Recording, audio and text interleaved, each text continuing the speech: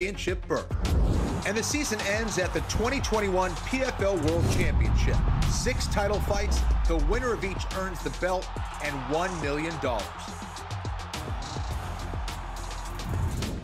So that's how it works. Light heavyweights and welterweights vying for points in our regular season, a trip to the playoffs, and an eventual chance at a $1 million championship. And starting us off on ESPN Plus will be these two gentlemen. Lillian Garcia puts them on the scale. Well, thank you, Sean, and good evening, everyone. You can tell we are fired up for this week's fights. And we are fired up for the weigh-in. So without further ado, let's go ahead and get everything started with our first fighter in the blue corner. Fighting out of Tønsberg, Norway, here is Martin Hamlet.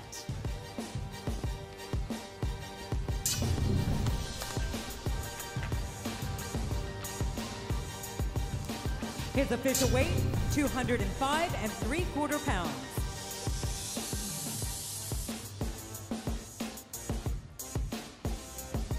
In the red corner, fighting out of Columbus, Ohio, Dan the Dragon Spohn.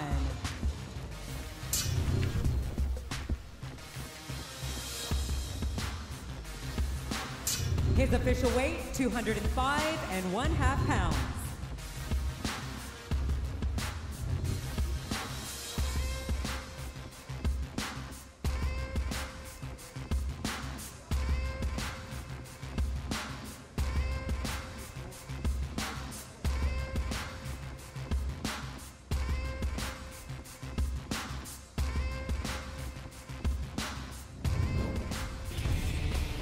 Our second bout of the evening, the first fight of the season in our welterweight division. It's Sadibou Sy, the Swedish striker, welcoming Nikolai Alexakhin back and actually introducing him to the regular season playoff and championship format. Alexakhin has competed for the Professional Fighters League in showcase bouts, but he has not been part of a season just yet. What are we expecting from these two strikers, Randy? Well, it's definitely going to be a striking battle. Sadibou Sy coming down from 185, long, rangy, long kicks, great front kick.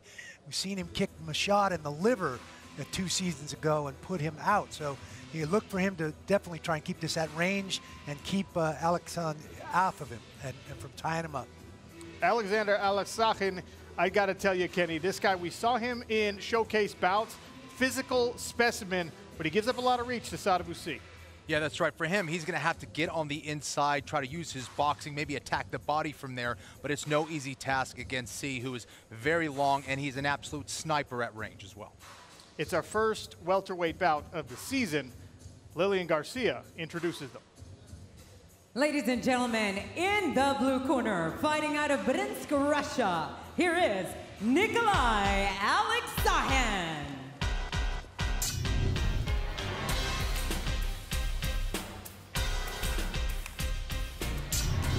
His official weight, 170 and 3 quarter pounds. In the red corner, fighting out of Stockholm, Sweden, here is the Swedish Denzel Sadibou Sy.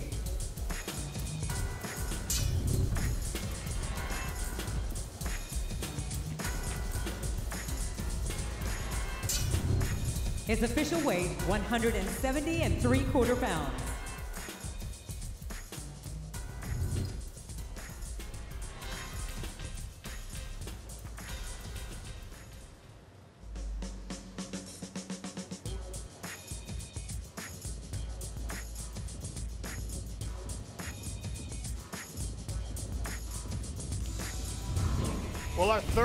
The evening is back in the light heavyweight division. Cesar Mutante Ferreira will welcome Nick Roehrig to the Professional Fighters League.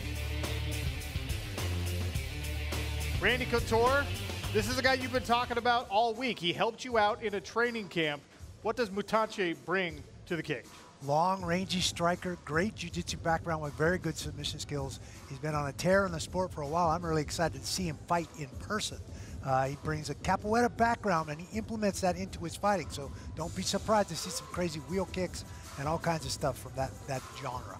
and he takes on a relative unknown. Nick Roehrig is really making his first big show debut here in the PFL Smart Cage, Kenny. Yeah, that's right. And not a lot of people know about him or know about his style. I see that as a big time advantage. What we do know is he comes from an amazing camp, trains with Team Elevation in Colorado, also trains with Duane Bang Ludwig, one of the best striking coaches in the world. Both of these guys confident they can get not only three points for a win, but bonus points in our regular season standings. Lillian Garcia has them on the scale. Introducing to you next, in the blue corner, fighting out of Denver, Colorado, Nick Roehrig.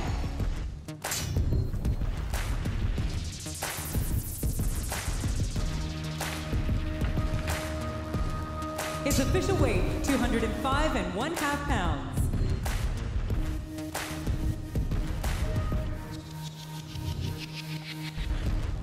The red corner, fighting out of Boca Raton, Florida, representing Brazil, here is Cesar Mutante Ferreira.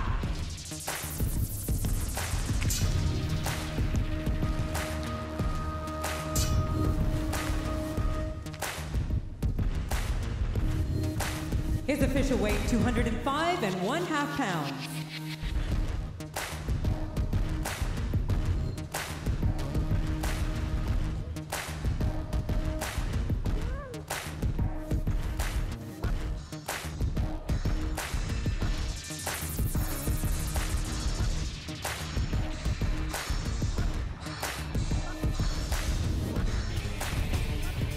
Action on ESPN Plus continues at light heavyweight. Jordan Young faces his third potential opponent of his regular season debut against Askar Mozharov, who comes to us from Ukraine. It has to be stated, gentlemen, Jordan Young was initially supposed to fight Smealinho Rama. Injury forced him out. Then it was Vinny Magalhaes. Unfortunately, on a short notice call, Vinny was una unable to make the weight, and the alternate Mozharov steps in, which means Jordan Young is on his third opponent in a month. Randy, that's tough to prepare for. That's very tough to prepare for. It's tough to talk about Askar. We don't know that much about him, frankly. Comes from the Ukraine, looks to be a very formidable, muscular guy. I think he surely got a lot of Sambo experience in the Ukraine. It'll be interesting to see how he competes and what Jordan is able to do with it.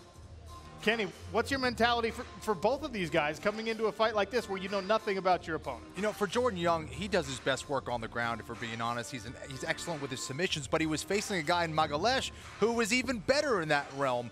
Uh, but here he's facing a striker. I think this is actually a better stylistic matchup for him. At least he knows what he needs to do, uh, a little bit clearer of what he needs to do to get the win here. An intriguing matchup at light heavyweight. Lillian Garcia introduces us to the fighters. Ladies and gentlemen, in the blue corner, fighting out of Odessa, Ukraine, Askar Moro.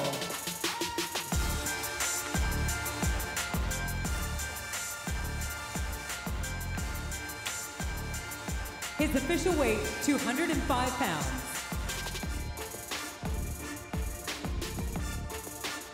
And in the red corner, fighting out of Coconut Creek, Florida, Jordan Young.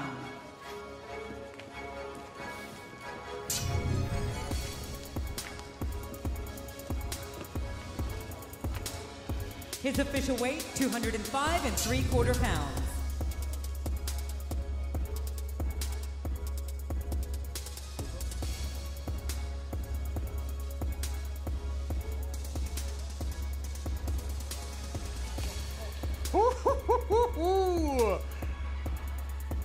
A little spice here at the PFL weigh-in show.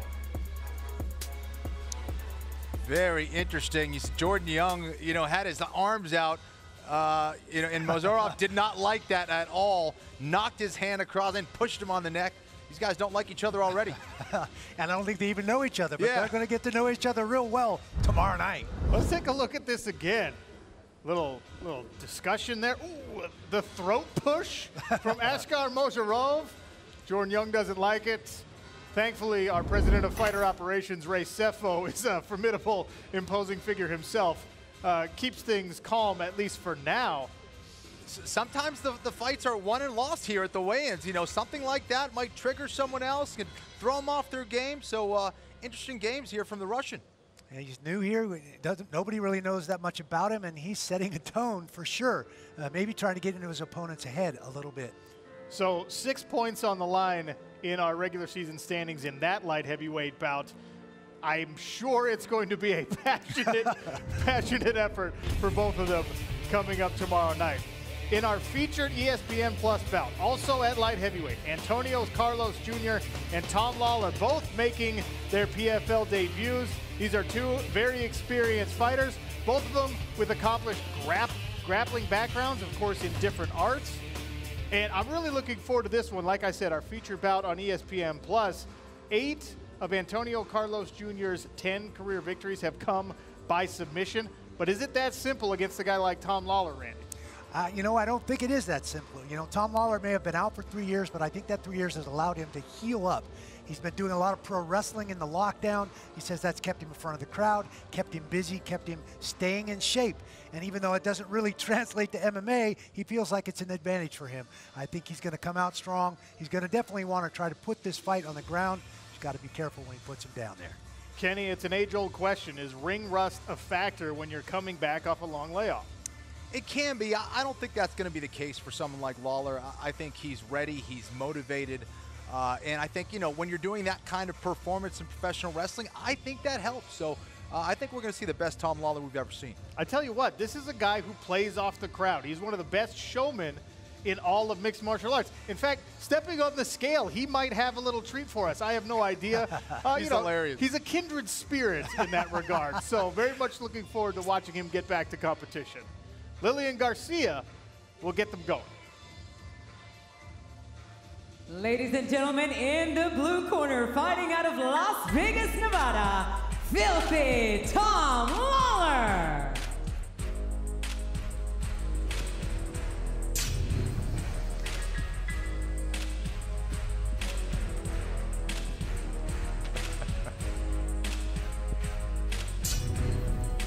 His official weight, 202 and three quarter pounds.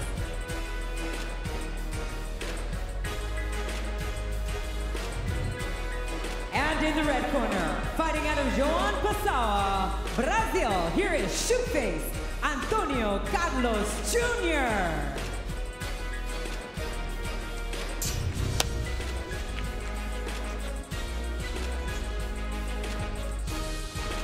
His official weight, 205 and one half pounds.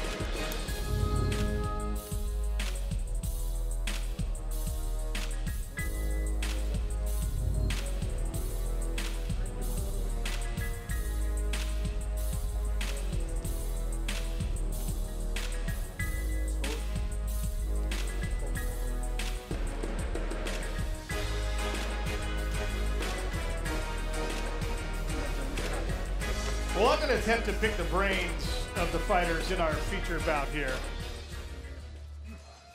A quick question for Tom Lawler. Tom, can you hear me? Yes, sir, I can. You know, as I expected, even here in this strange, empty uh, environment, uh, a little bit of fun from you. But it's been a while since we've seen you inside of actual competition. What should we expect in our feature bout on ESPN Plus tomorrow? I'm not Drake, but I'm going to be in the six after this one. I like it. Tom Lawler looking for six points, which may be good enough for a top of the light heavyweight standings. And for Shoeface, Antonio Carlos Jr., look, it, it's a fresh start for you in Professional Fighters League action. You're facing a guy who's got an accomplished grappling background himself. What happens tomorrow? I hope we got a really great fight. I hope to get 6.2, you know, and focus on uh, my second fight. So a finish is what you're looking for. Always. I'm going to hold you to it. Antonio Carlos Jr. and Tom Lawler, our feature bout on ESPN Plus to cap off things before we head to ESPN 2. Do not follow me, he says. Speaking of ESPN 2, four bouts, two returning champions, a great Brazilian rivalry, and the debut of Rory MacDonald. And some heavy, heavy betting favorites on this one for those so inclined. Ray Cooper III, the biggest favorite on the card. We've seen him and his finishing power. I got to tell you, I'm excited for our ESPN Plus card, but our welterweight division might be the most stacked in the entire Professional Fighters League, and we get to see Emiliano Sordi tomorrow night. What are you most looking forward to, Randy Couture? Well, I, I, every time Ray Cooper steps out there, I, I'm on the edge of my seat. You just never know. The guy's explosive and ferocious. I love to watch him compete. And Kenny? For me, Sordi and Camozzi, two veterans, two guys that are very dangerous on the feet. That should be an amazing one.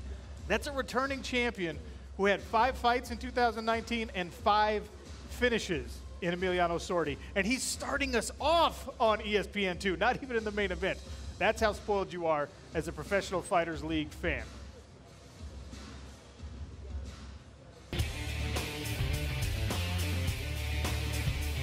Chris Camozzi spent some time preparing during the pandemic by jumping back into competition as a kickboxer. And of course, Sordi was feeding the hungry quite literally in his hometown down in Argentina. Lillian Garcia starts off our ESPN 2 card. Ladies and gentlemen, do not forget because the ESPN card starts tomorrow. It is at 9 p.m. Eastern on ESPN2. You're going to definitely not want to miss out on that. And for the weigh-ins right now, we will begin with in the blue corner, fighting out of Denver, Colorado, it's Chris Camozzi.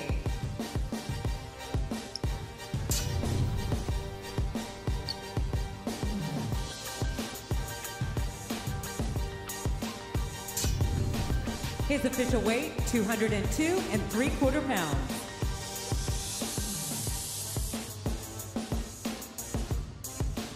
In the red corner, fighting out of Rio Cuarto, Argentina, he is the 2019 PFL Light Heavyweight World Champion, Emiliano Dogo Sordi.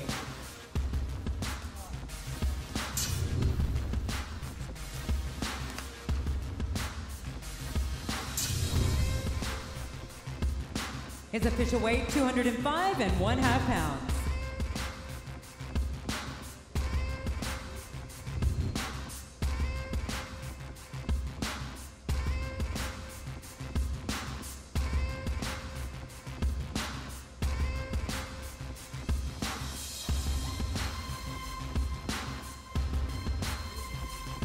Action on ESPN2 continues in the welterweight division.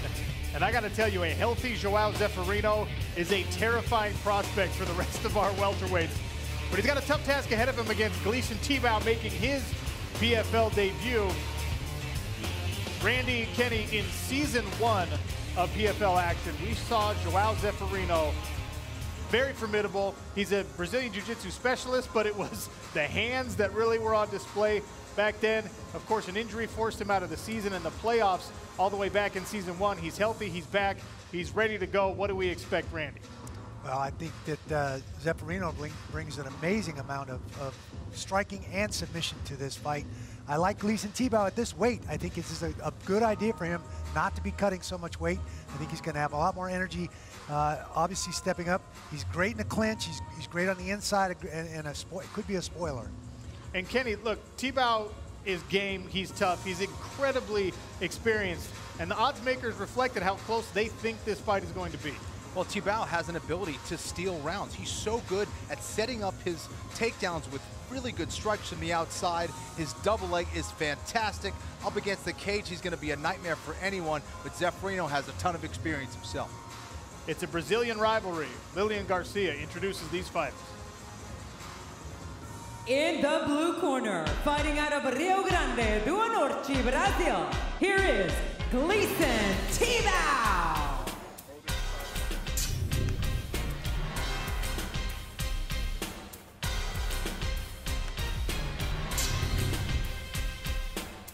His official weight, 170 and one half pounds.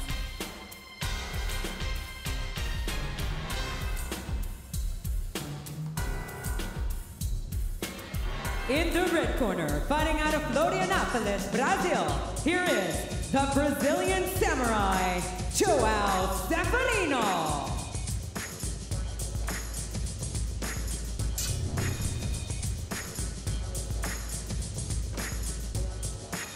His official weight, 171 pounds.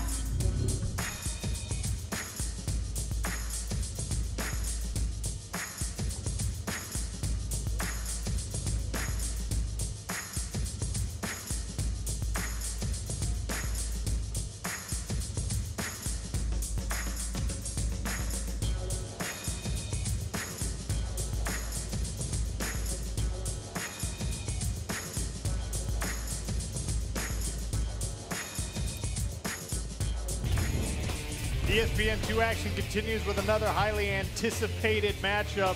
The heavy-handed Hawaiian Ray Cooper III, Season 2 champion, Season 1 finalist, welcomes a formidable French newcomer to Professional Fighters League action.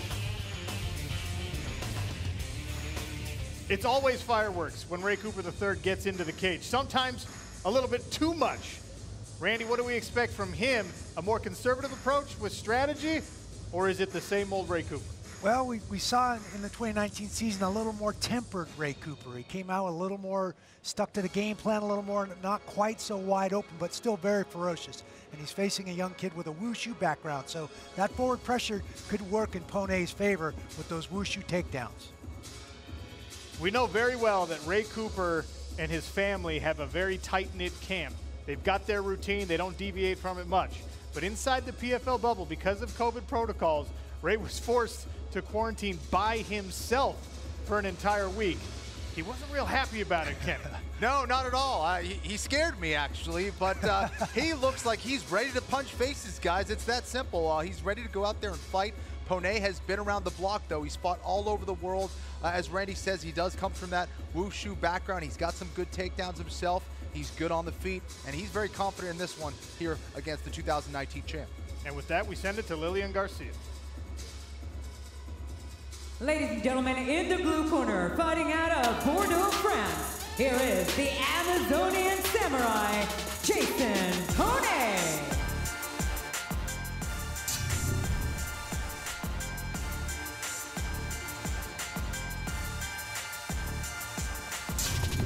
His official weight, 170 and one quarter pounds.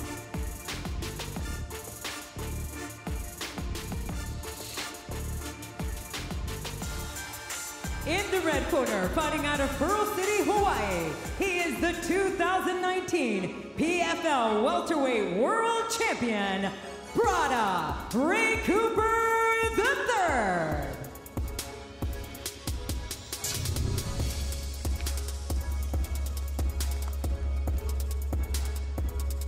His official weight, 170 and three quarter pounds.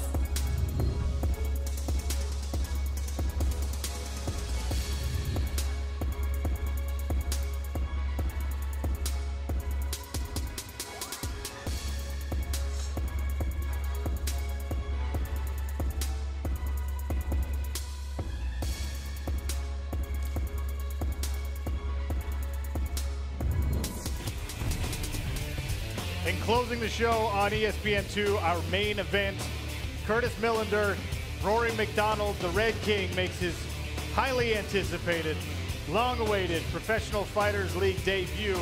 Of course, postponed by a global pandemic. And look, he had to change camps in order to get a good training camp in. Rory MacDonald is rearing to go, Randy. Absolutely. Moved from Canada down to Florida, training with a new camp, uh, new coaches. It reinvigorated him. He feels like he's got a lot of work, shored up some some submissions. His conditioning is great. He's really excited to get back after it, and I'm looking forward to seeing him in this fight. Kenny Curtis Millender got this call on short notice. David Michaud, unfortunately, was unable to compete. He was supposed to be in the main event against Rory MacDonald. That's a tall task, especially on short notice, but Millender feels up to it. He does. Listen, he feels it's his destiny to not only fight Rory MacDonald, but to go out there and beat him and finish him. In fact, supposedly he went up to Rory MacDonald. He says, listen, I want the best Rory MacDonald possible. That's the guy that he wants. So he's already trying to play head games with Rory. I don't want the best Rory MacDonald. I don't want to fight that kind of guy. Lillian Garcia, what do we have? And in the blue corner, fighting out of Fullerton, California, by way of San Bernardino, here is Curtis Curtis Millender.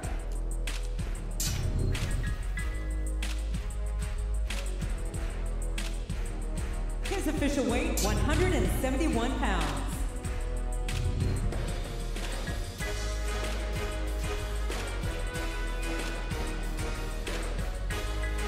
In the red corner, fighting out of Montreal, Quebec, Canada, here is the Red King, Rory MacDonald.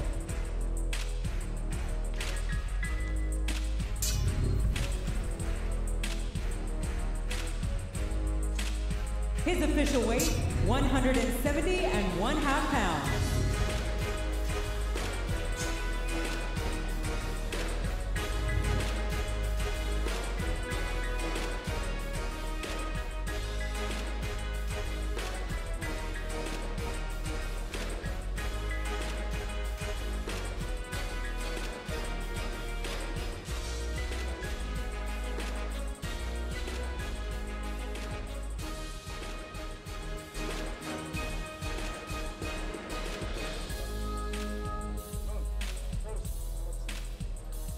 The Red King on stage. Rory, it's long awaited, it's highly anticipated, and finally we are a day away from your Professional Fighters League debut.